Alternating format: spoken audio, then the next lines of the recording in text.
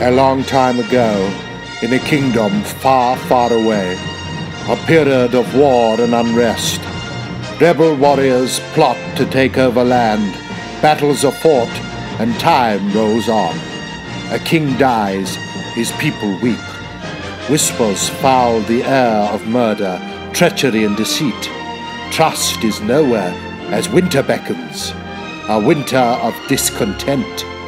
A young prince returns home to mourn his father's death. Unbeknownst to him, in a borderline incestuous union, his mother has married his uncle. Gross, right? Something is seriously rotten in the state of Denmark. This is Hamlet, Episode 1 3D, the Director's Cut.